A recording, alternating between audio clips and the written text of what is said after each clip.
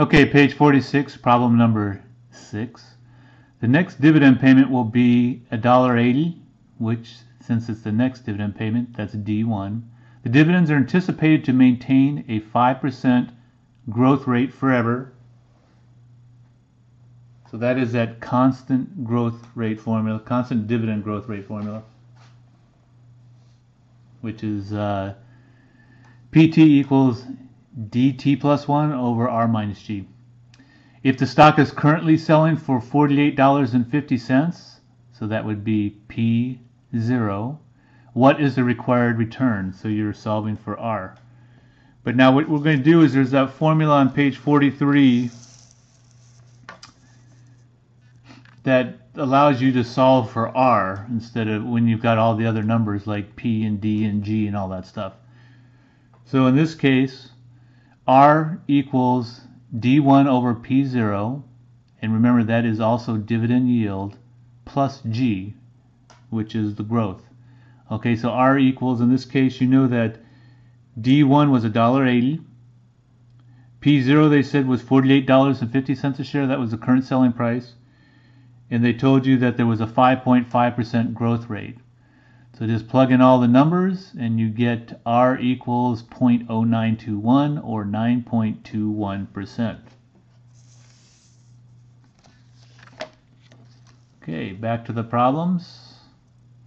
Problem number seven.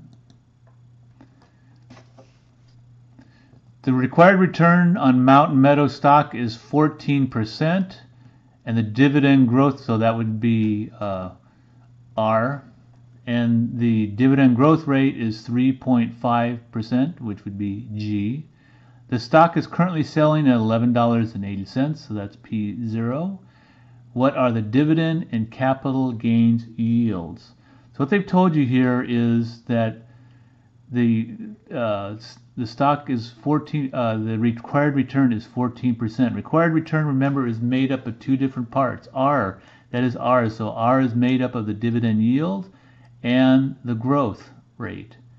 So if you know what R is, which is 14%, and you know what the growth rate is, which is 3.5%, then if they're asking you what's the dividend and capital gains yield, well, they've told remember, the growth is equals capital gains yield. They're both the same thing. G equals the capital gains yield.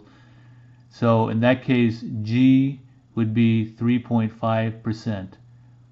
And then if you've got a 14% overall return, and if you've got a 3.5% capital gains return, 14 minus 3.5 equals 10 and a half. Okay, so that would be your dividend yield.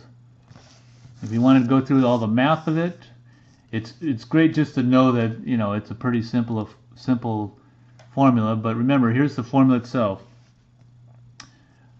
R equals D1 over P0 plus G. Remember, this is dividend yield.